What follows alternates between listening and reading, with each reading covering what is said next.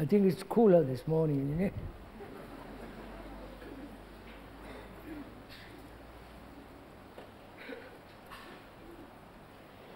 it? this is the last talk. There'll be a question and answer meeting on Sunday, Monday, and Tuesday.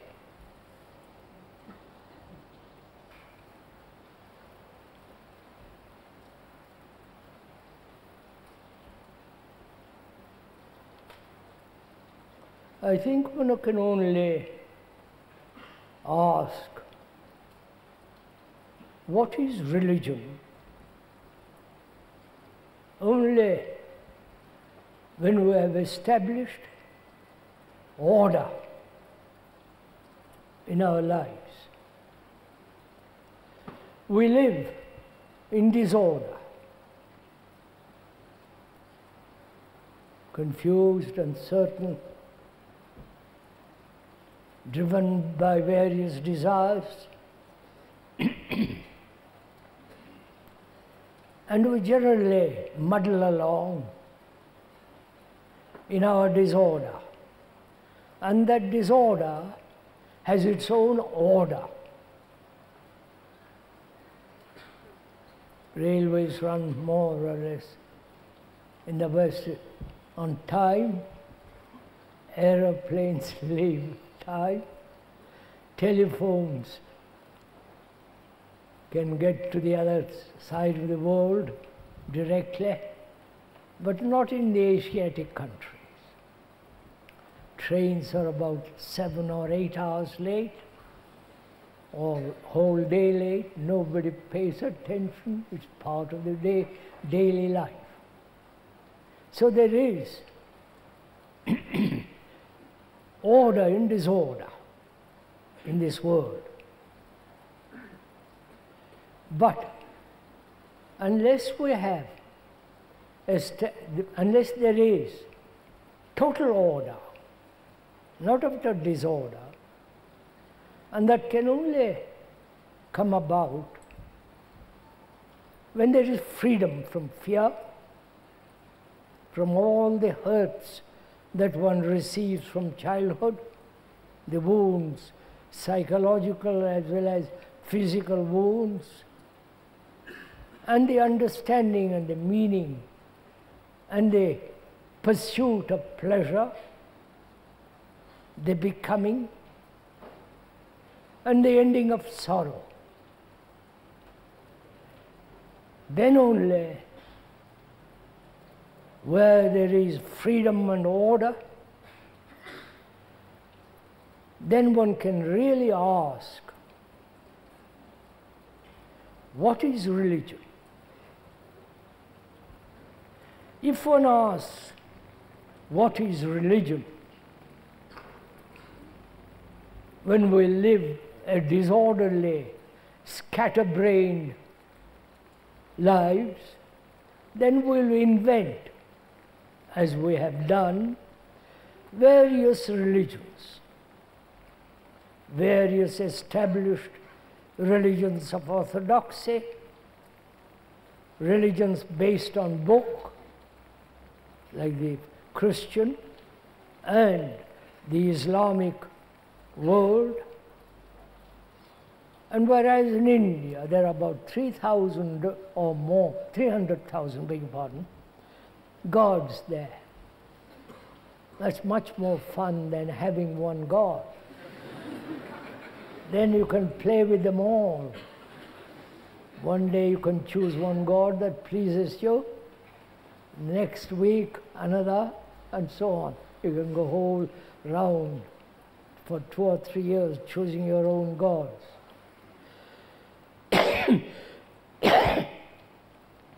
and all that is called religion, established, orthodox, based on faith,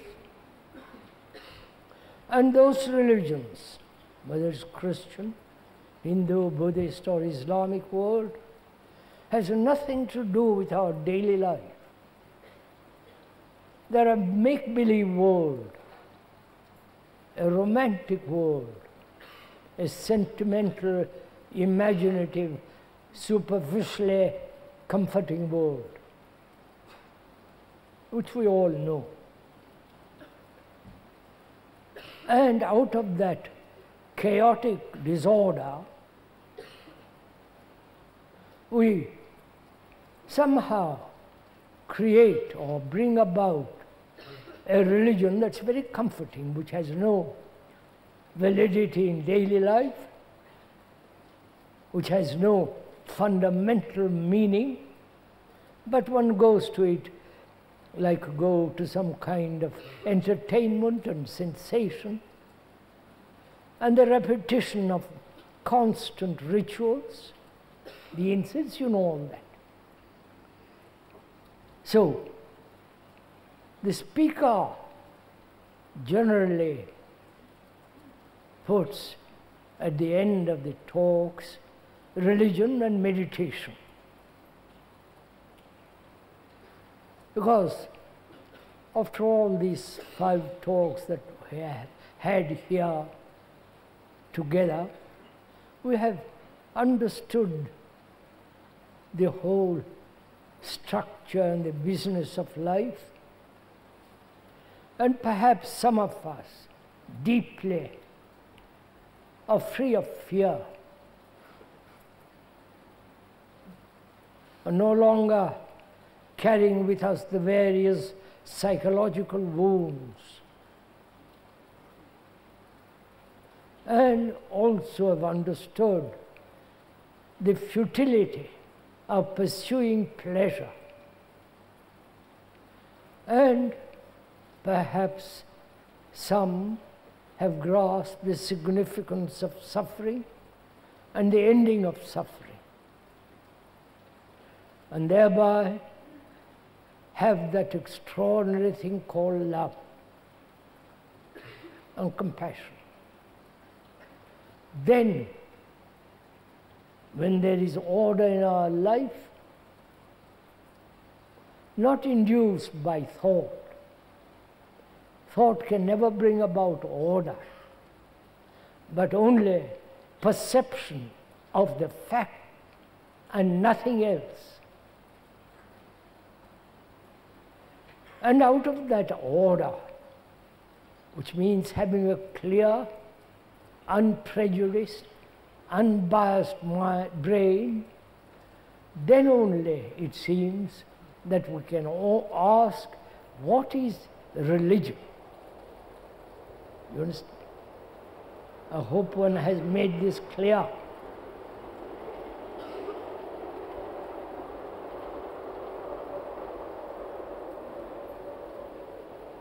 Because if one is afraid, and to escape from that fear, however deep, however superficial, if one is aware of it. If there is fear, you can invent anything you like, most comforting, satisfying, and so on, which most of us do. And that invention, that imaginative structure of something superior is born out of fear. And therefore, it's nothing whatsoever to do with religion, a religious brain. So, we are together this morning going to investigate what is religion.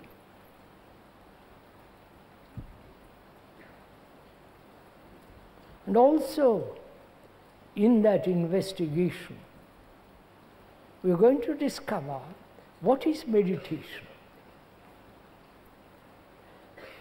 Not meditation, something outside of our daily life. That again becomes extraordinarily superficial. Or you may think by having the right kind of meditation, then that meditation will affect our daily life. You understand? But whereas meditation has some, is something extraordinarily important if one knows, if one understands the significance of meditation. Not the practice and all the silly nonsense that goes on, but the deep significance of it, which we are going to talk over together this morning. All right? Is this clear so far? So that we can go on together. Not that speaker goes on talking, you just sleepily follow him. But together, take the responsibility together to find out what is religion, what place it has in daily life, and in the process of that, discover for ourselves what is the depth and the beauty of meditation. For ourselves, not be told. Because you have now various gurus bringing their latest systems of meditation, and for certain coin, you pay and then you learn, which seems so absurd and so it becomes a business affair. Before we go into this question of religion and meditation, we ought to understand, if, I'm, if one may point out, what is listening.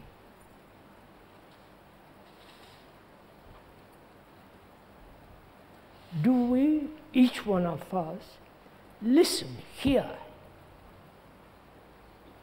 what we say to each other?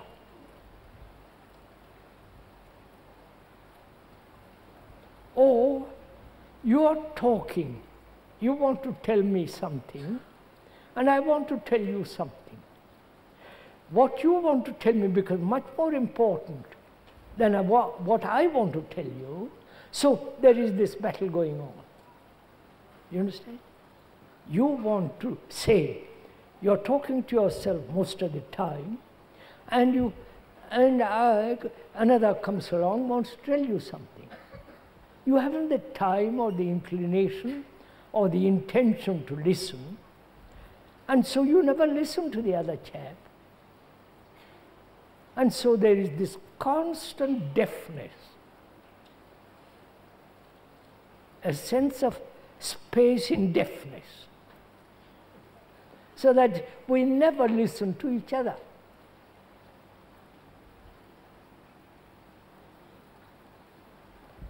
There is not only the hearing with the ear,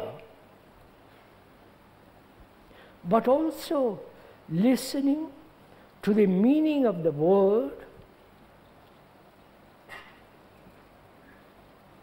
The significance of the word. And also to the sound of the word, the sound, which is very important. When there is sound, there is space. You understand? Otherwise, there is no sound unless you have space, then only in that space sound can take place. So, the art of listening, if one may point out most respectfully, is not only hearing with the ear, but also listening to the sound of the word. The word has a sound. And to listen to that sound, there must be space. But whereas if you listen all the time translating what is being said into your own uh, prejudices, into your own uh, pleasurable or unpleasurable move, process, then you are not listening at all. Is this clear? Can we, this evening, or morning, attempt to listen?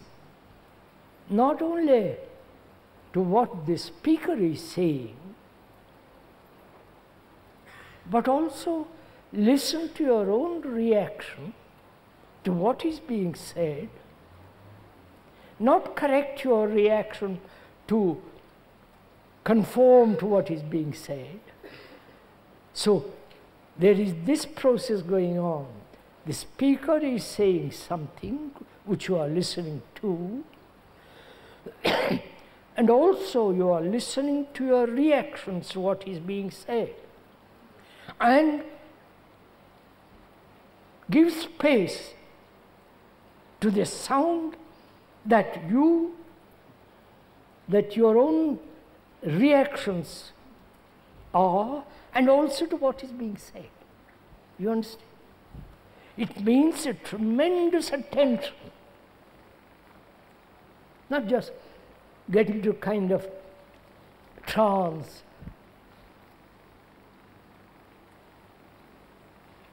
And go off listening to marvelous speech, and you know, and it was very nice that morning. It was a very good speech, and it's this, it's that. I was glad I was there. He told me a lot of things which I have not thought about, and all that nonsense. But whereas, if you listen, and in that listening, there is a miracle.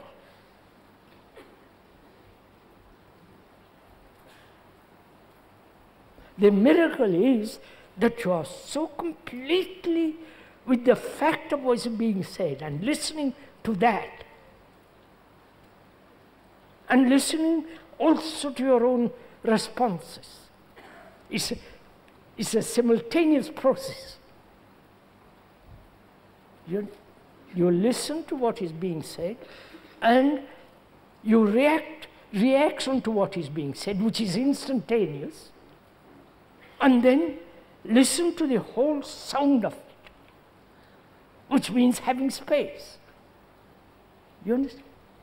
So, you are giving your whole attention to listening.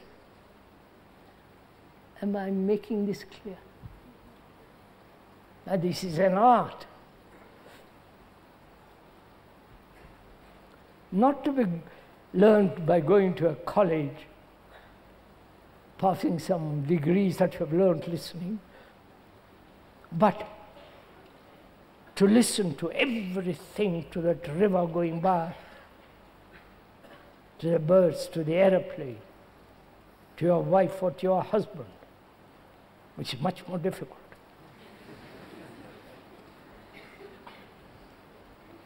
Because you've got used to each other.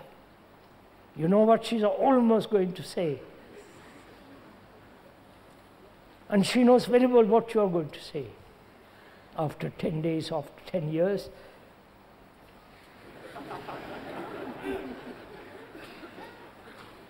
so you, you've shut your hearing altogether.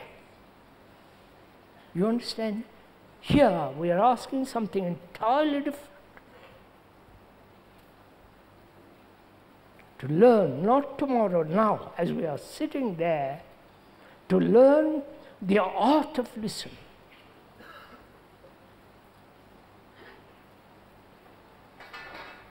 That is to listen, to be aware of your own responses, and allowing space to the sound of your own beat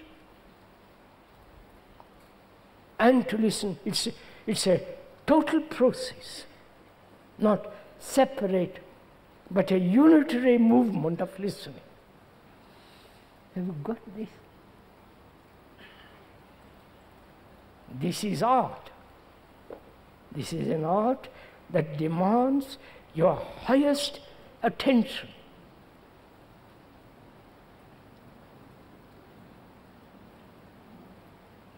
Because when you so attend, there is no listener. There is only this fact or the reality of the fact or the falseness of the fact is seen. Right?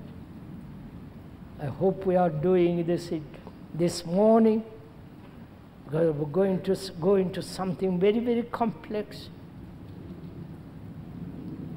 And unless, of course, you want to go off into some romantic uh, trance, it's all right.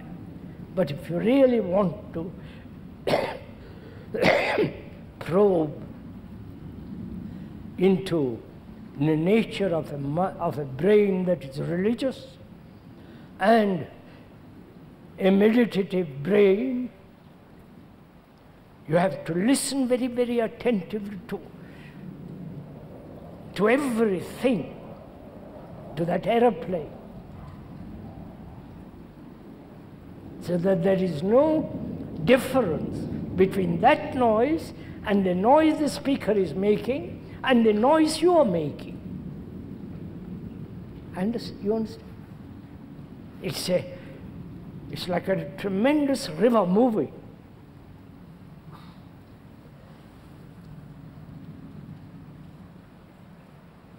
So please don't go to sleep this morning or go off into a kind of imaginative, romantic trance.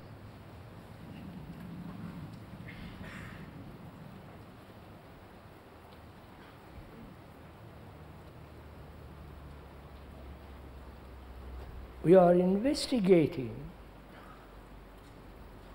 what is religion. Is it the structure of thought or is it beyond thought? You understand?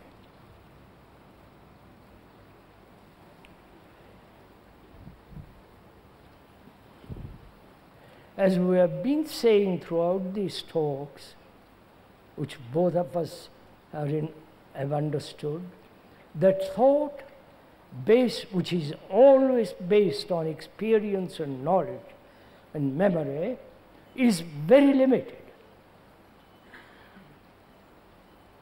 That's clear. And anything that is projected put together by thought is always limited. The various religions of the world have been put together by thought.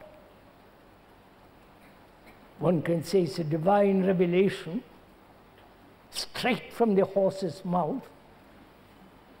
I hope you understand that phrase. An English phrase which means you got it directly from the highest. And that to be conveyed is to put into thought and you put it down on paper. Whether that paper be 2,000 years old or 5,000 years old. It is still the activity of thought. Right? And all the rigmarole, all the words, the rituals, the, follow? The whole structure of religious movement is based on thought. You can sanctify what thought has created and then worship that, as most of us do, calling religious, which only shows how the brain is caught in the process of illusions, right? If we are clear on that point, and we are trying to find out what is religion which is not put together by the limited thought, right?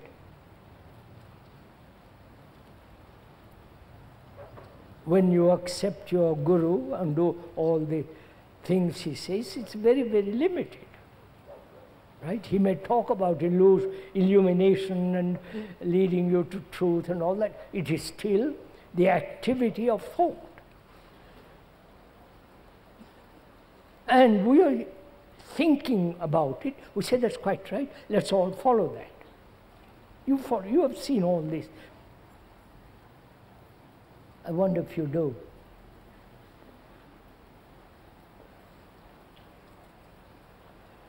So one cannot belong to any guru, to any system, to any method, right? Because they're all the product of thought. I wonder, right? You agree? No.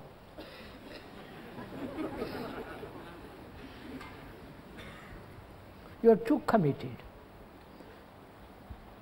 And therefore, you will never understand that thing which is really a, a tremendous activity of r- religious brain.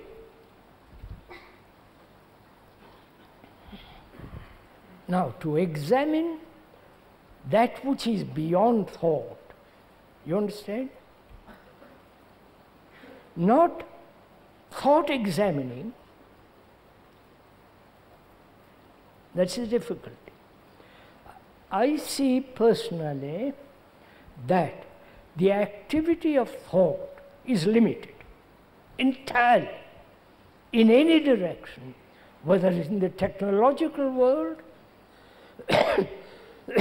in the world of the computer, and so on, or psychologically, it is thought with all its activity is limited. And therefore, it, there must be conflict. That's understood. And when that is understood, what is the instrument that can probe into something that is not the activity of thought? Is that possible? You understand the question? Carefully, please. We are working together. Put all your brains into this.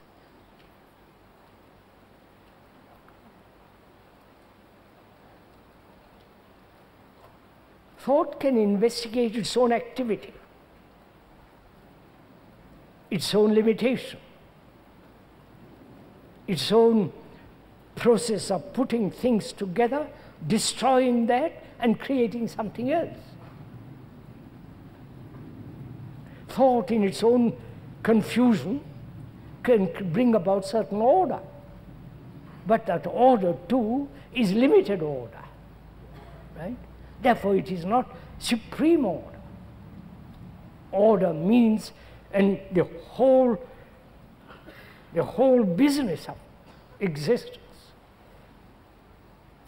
So, the word perhaps to probe is wrong. To investigate is wrong. Right? Because you cannot investigate into something which is not, which is beyond thought. You understand?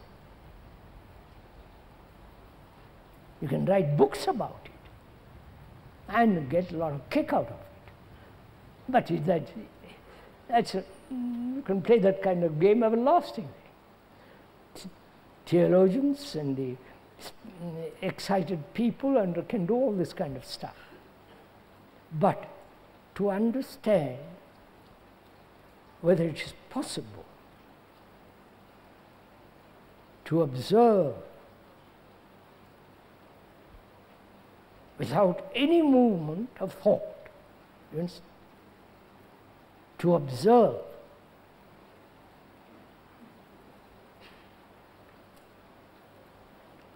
Observe that tree to listen to that stream, which is part of observation naturally, without any interference of the world,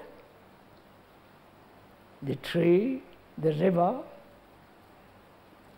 to observe without any movement of the past remembrance entering into your observation, which requires complete freedom from the past as the observer and just to observe. You understand this? Are we understanding each other this? Let's go into a little more. when we look at your wife, your husband, your friend, or train passing by, the train, the wife, the husband, the tree have all a particular name. The name is associated with memory, which is time, right? Memory can only take place during the interval of the incident and the remembrance, which is time. Right?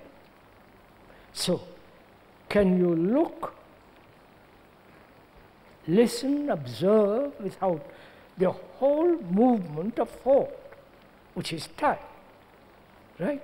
Can you do it? Please listen to this. Don't say it's not possible.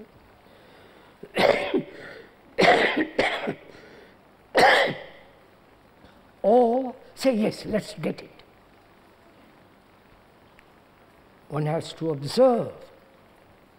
One has to see actually how you look at a tree,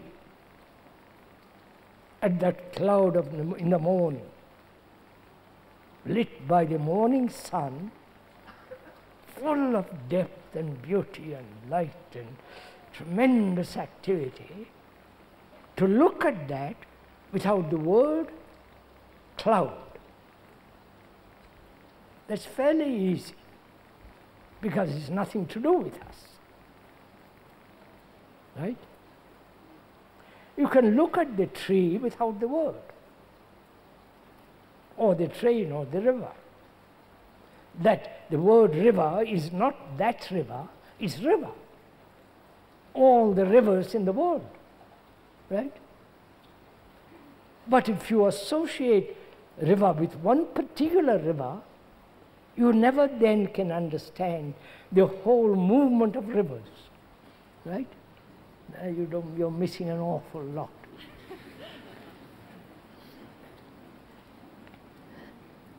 so, can you observe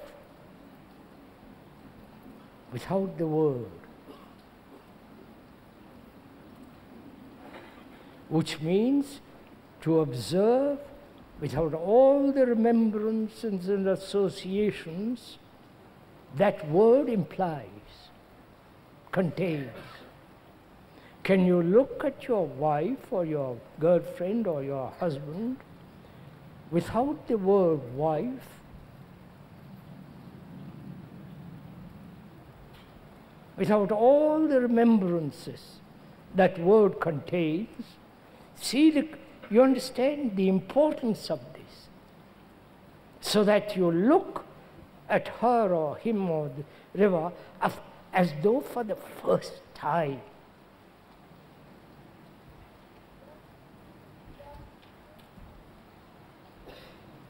You know, when you wake up in the morning,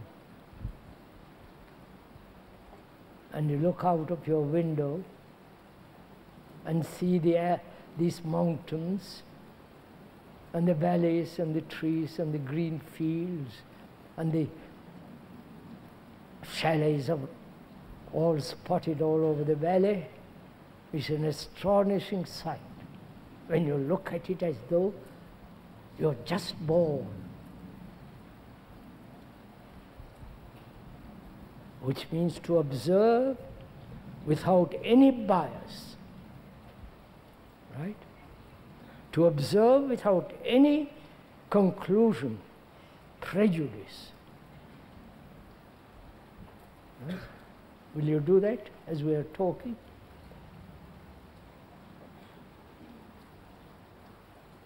And you cannot do this if you are half awake. This demands again a, not attention. See what is implied and therefore you do it easily. If I look at my wife, from all the images, incident, memories, and hurts, and all that, I never look at her. I'm always looking at her from the images, past memories. Through that I look. You're all, some of you are married or girlfriends, haven't you? Look at it. Look at your wife or your husband. Careful, careful, not in front of me, please.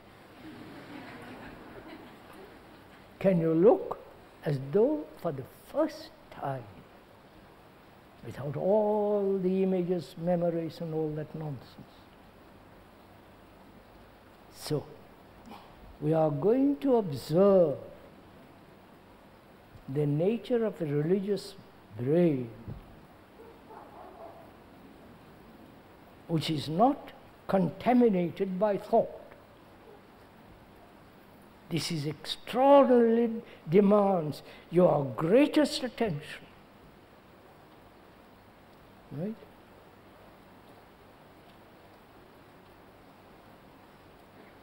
Which means that you are totally free completely free from any commitment.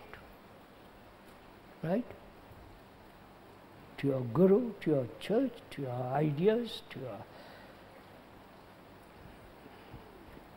past tradition, completely free of that to observe.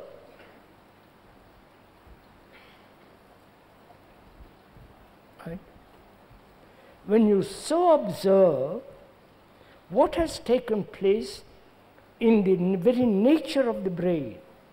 You understand my question? Please understand the question first before we go into it. I've always looked at the tree, at the river, at the sky, at the beauty of a cloud, my wife, my children, my husband, my daughter, and so on, so on, always with a remembrance, with an image. That is my condition. And you come along and tell me, look, without the word, without the image, right? Without all the past remembrances. And I say, I can't do it. First, immediate response is, I can't do it. Which means you are not actually listening to what the man is saying. Right? Your response is so instantaneous. And you say, I can't do it. Now, to be aware, to be attentive to say, I can't do it, which is a form of resistance, because you are committed to your particular rubbish of a guru, or to some form of religious doctrine. So you, you're afraid to let go, therefore your immediate response is, I can't do it. So pay attention to that, right? I can't do it. And also listen to what the other man is saying, right? That to observe, there must be complete freedom of the word, the content of the word. And listen to both. So, this movement, you follow? The resistance and the listening, wanting to listen. And you cannot listen if you're resisting. And be aware, don't move from that. I say, I must understand, just watch it. So that you you bring about total attention. Right? Are you doing this, some of you? I hope you are sitting comfortably. and paying attention to what is being said. So that you can observe, there can be observation without the movement of thought. Right? Clear? Are you doing it? Or is just another theory, another wanting to do something like meditation, and say, well, tell me how to do it. What is the method? What is the system? Of course, that's all rather childish. Right? Can we go on from there? That is pure observation without the movement of the self. Right? The word is the self. Right? The word, the remembrances, the accumulated hurts, fears, anxieties, pains, sorrow, and all the travail of human existence is the self, which is my consciousness. Right? And when you observe, all that is gone. All that doesn't enter in that observation. There is no me observing. Right? Then, in that observation, in daily life, there is perfect order. There is no contradiction. Contradiction is disorder, and that very contradiction with its disorder has its own peculiar limited order. Clear? We are not as going off into a trance, are we? So let's proceed. Then we can ask, what is meditation?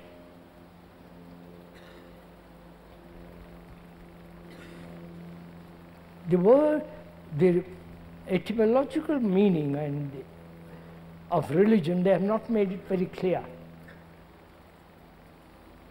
Look up various dictionaries, it's not, they, haven't, they haven't been able to trace the beginning of that word. they have given various meaning, meanings at different times. But generally it means to gather. Gather all your energy. I'm, I'm putting this, not the dictionary says that. So, what is meditation? Not how to meditate. When you ask how, there's somebody to tell you what to do. Right? If you don't ask how, and, in, and say, what is meditation? Then you you have to exert your own capacity, your own experience, your, however limited. You have to think, right? And say, well, tell me what meditation, I'll go off into some kind of silly dream.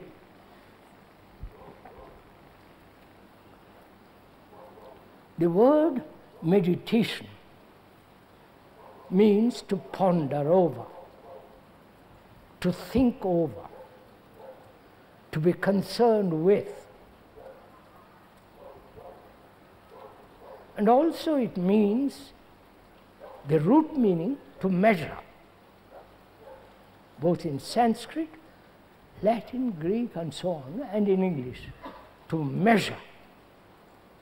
Not only to ponder over, think over, to be concerned, to be de dedicated not to something, but the spirit of dedication. You understand? And to understand the meaning of that word, measure.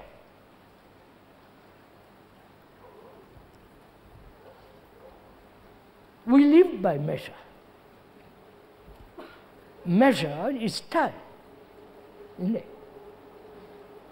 I measure myself, what I am now, and what I should be That's a measurement.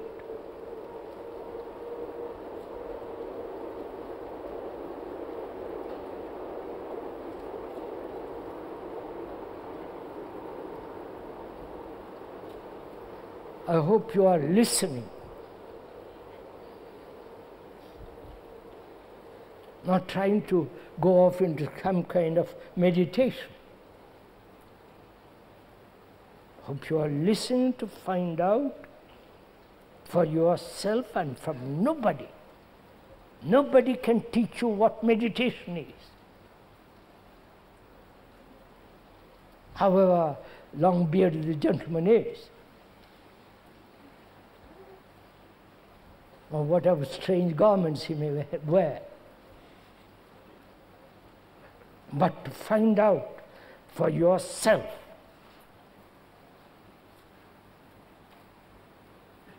and stand by what you find out for yourself and not depend on anybody.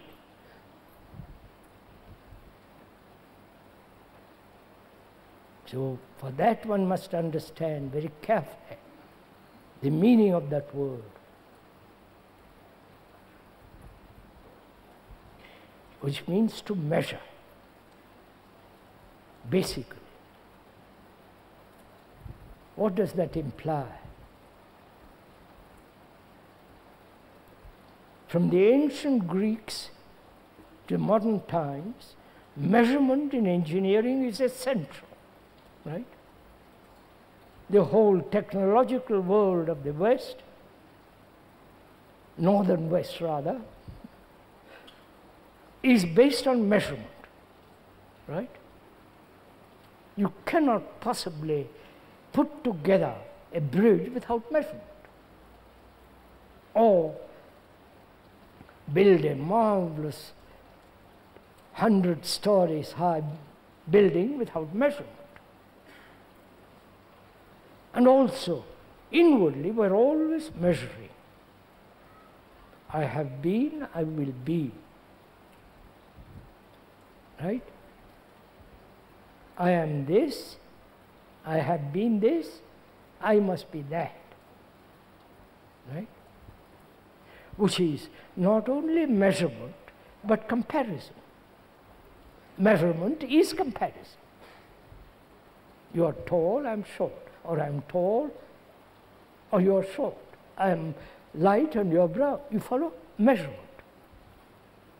So, to understand the meaning of measurement and the two words better and more, to understand those two words and never use those two words, better and more, inwardly. You understand all this? Are you doing it now as we are talking together? You have understood the meaning of that word, meditation. To consider together. It's too, I won't go into more of it. To consider together. Not I consider and I'm right, but together consider. That means you and I are willing to let go our own prejudices or consider. And also it means to think over together and to see the depth of the word measure. Right? We've gone touched it briefly. I can go into much more. I don't want to go into details. but to see the meaning of that So, when the mind is, when the brain is free of measurement, you understand? Becoming is a measurement.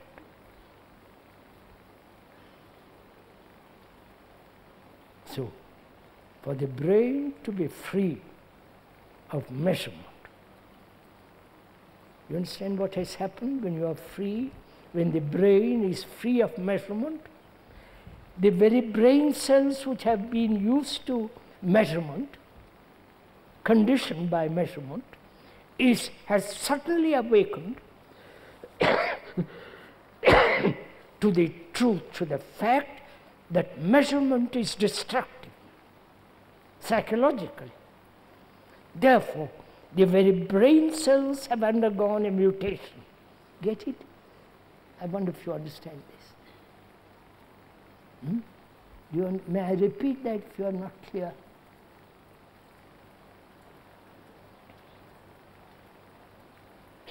One's brain has been accustomed to go in a certain direction, right? Let's say our brains have been accustomed to going north, northeast. And you think that's the only way to whatever there is at the end of it. what is at the end of it is what you invent, naturally. But some, you come along and tell me that direction northeast will lead you nowhere. I resist. I say, no, you're wrong. All the tradition, all the great writers, all the great saints, and blah, blah, blah, say that you're wrong. Which means you really haven't investigated, but you're quoting somebody else. Right? Which means you're resisting. So the man says to me, Don't resist. Listen to what I'm saying. Listen to what you're thinking, what your reaction is, and also to what I'm saying. So listen to the both. And to listen both, you must give attention, which means space, right? So, to find out whether you can live daily life, not at moments of peculiar meditation, but to find out if you can live a daily life without measurement. Do you understand what the implication of that is? Never to use the word better. The more. I am the more. I am better than I was yesterday. Silly nonsense. I'm less angry. I've got I have disciplined myself a little more today. You understand this is what we are all doing in various categories. So, to live a life without any sense of measurement, that is meditation. To think together, right? To ponder together, to be concerned together, together to have no measurement. You understand, sir? Except, of course, when you buy a suit or when you buy the car, you have to measure. You have to look at various models and so on. so, meditation implies a sense of deep understanding of that very word and the very understanding, the perception, the insight into that word is the action which is to end measurement, psychological measurement. You are we doing this or are we just playing with this? First of all, don't we measure? If we're honest to ourselves, aren't we measuring always? Hmm? obvious. I was rich, I was poor, now I'm rich. I've understood now, I've not understood before. Right? Which is such nonsense. Because you didn't pay attention at the beginning. Now you are being forced to pay attention. You follow?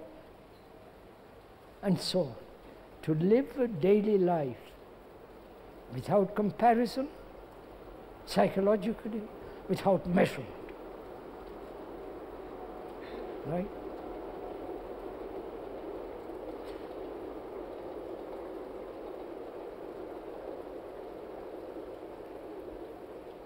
Which means the brain cells which have been accustomed to all its life to measure has suddenly ended measurement. Therefore, there is a mutation in the brain cells, right? You may not do it, but see the fact, the logical, intellectual fact. It's like your, your brain is mechanical. Obviously, there is no question about it. Responding to various programs, various propaganda, and so on. Your brain has, one's brain has become mechanical, routine. Go to the office from 9.30 to 10, 5, or 9 to 5, to the office, to the, and so on, so on, so on. So your brain, its cells have been conditioned. And to break that conditioning instantly, not through evolution time, is to listen to something that is totally new. That is no measurement. Psychologically. Therefore, when you see without any resistance to, of that fact, then that very perception brings about a radical change in the very structure of the cells. You understand? So, now let's move from there. What further is meditation?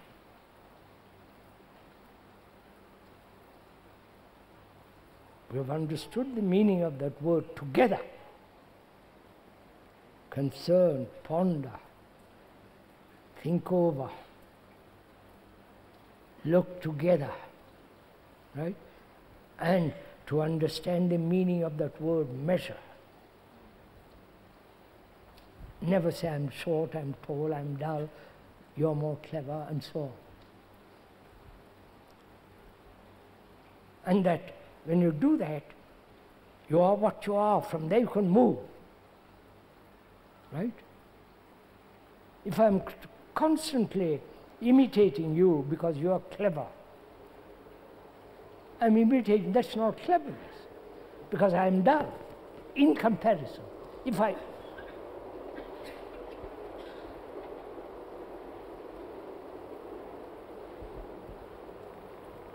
If I don't compare at all with you who are clever, I am what I am.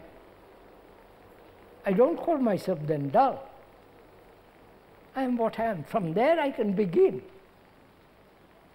But if I'm always pursuing you, I'm nowhere to begin. I'm pursuing you. You understand? so, what is next in meditation?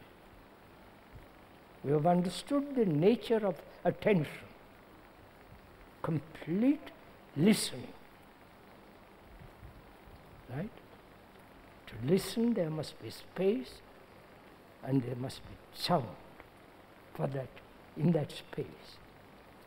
And we are saying, what? Is there something sacred, something holy, something is there. We're not saying there is or there is not. Is there something never touched by thought? Not that I have to reach something beyond thought. That's silly nonsense. Is there something that is beyond thought? Which is not matter. You understand? Thought is a material process. I don't have to go into all that, we've gone into it. So anything that is put together by thought is not, is limited and therefore it isn't the complete, it isn't the whole, right? So is there something that is so completely out of this world of thought. You understand the question? We are inquiring together. I am not, the speaker is not saying that there is or that there is not. We are inquiring, giving your attention, listening.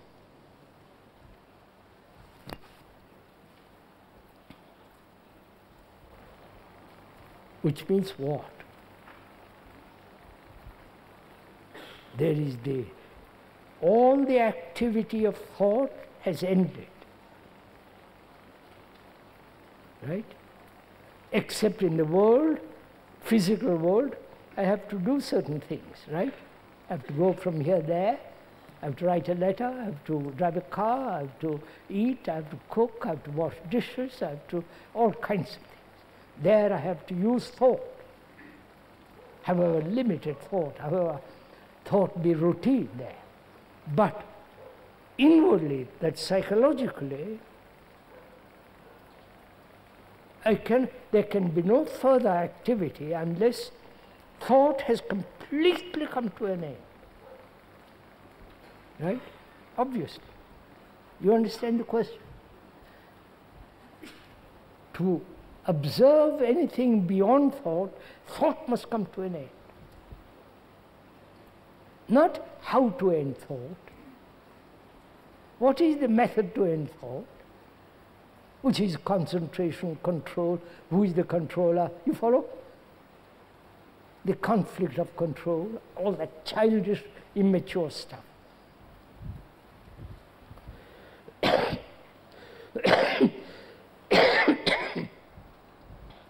so, to inquire to have further insight, to observe if there's something beyond, not put together by thought, thought must completely end. The very necessity to find out ends thought. You, you've understood? I want to climb certain mountain, Jungfrau. I can't, but suppose I can. I have to try, I have to walk. Day after day, climb more and more and more, right? I have to put all my energy into that. Right? So, the necessity to find out if there's something more than thought, that very necessity creates the energy which then ends thought. You've understood this?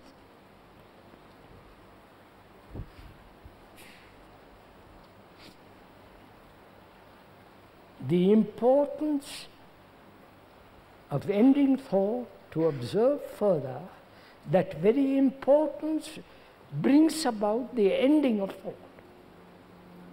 It is as simple as that. Don't complicate it. You understand the question? Are we clear on this matter? If I have to swim, I have to, I have to learn. The intention to swim is stronger than the fear of swimming.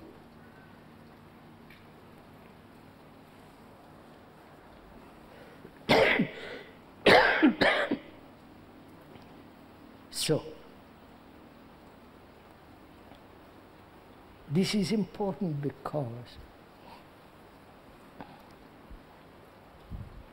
thought, which is limited, that the limitation there has its own space, right?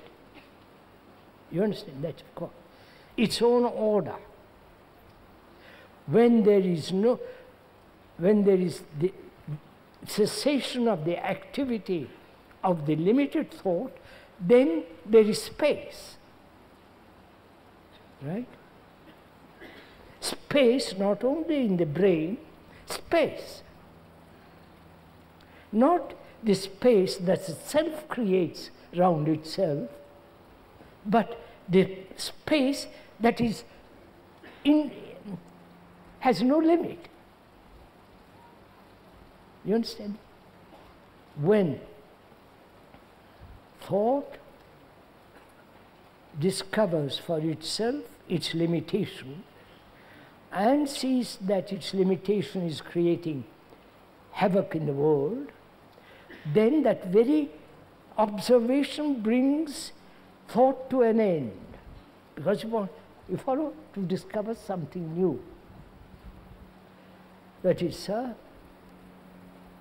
a man who has been accustomed, trained to engineering and the understanding of the internal combustion machine, which is the piston, he has worked at it for years.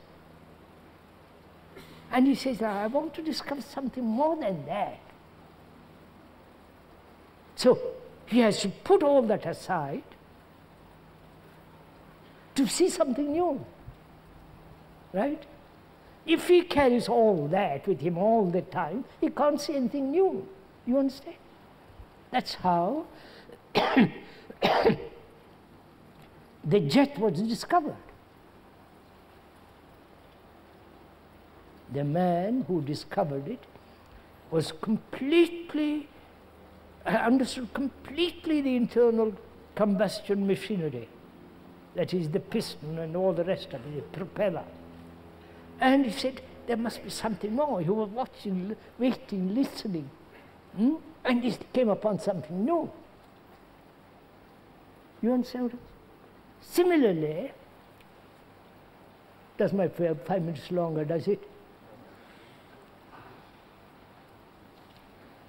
Similarly, I see, one sees, thought is limited. And whatever it does will always be limited, obvious. Because in its very nature, it's conditioned, therefore limited. And see, it cannot go further through the utility, through using that machinery.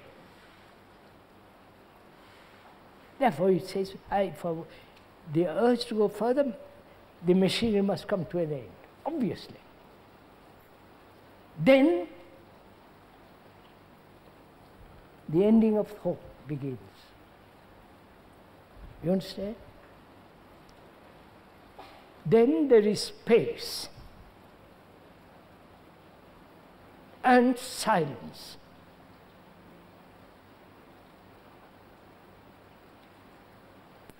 That is, meditation is the understanding of the world, the meaning of measurement, and the ending of measurement psychologically, which is to become. The ending of that, and the seeing the limited thought. Thought is everlastingly limited. It may think it of the limitless, but it's still born of the limit, right? So it comes to an end. So the brain, which has been chattering along, muddled the limit, has suddenly become silent. Without any compulsion, without any discipline, because it sees the fact the truth of it. And the fact and the truth has, as we pointed out earlier, is beyond time. And so thought comes to an end. Then there is that sense of absolute silence in the brain. All the movement of thought is ended. It's ended, but can be can bring to activity when there is necessary in the physical world. You understand? It is quiet. It is silent. And where there is silence, there must be space.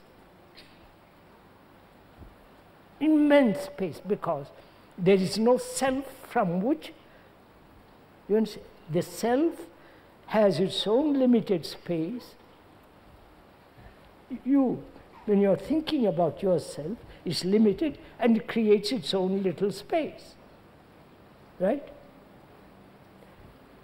And but when there is when the self is not, which is the activity of thought is not, then there is vast silence in very in the brain because it's now free from all its conditioning. And where there is space and silence, it's only then something new which is untouched by time, thought can come, can be. That may be the most holy, the most sacred. Maybe cannot give it a name.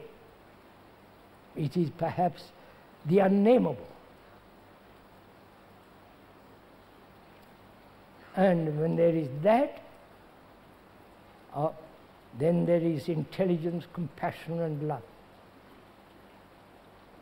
So, life is not fragmented, it is a whole unitary process moving, living. And we never talked about death. We haven't time. I'm not going to begin with that now. And we have talked about it sufficiently at other times.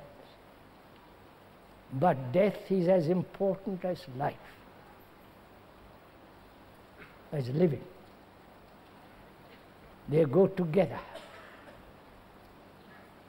Living means dying, which means living is all the trouble, right? Pain, anxiety. To end that is dying. So it's like two rivers moving together. Tremendous volume behind water. And all this from the very beginning of these talks till now is part of meditation. Because we have gone into a, a, the human nature and bring about a radical mutation in that. And nobody can do it except you yourself. Finished.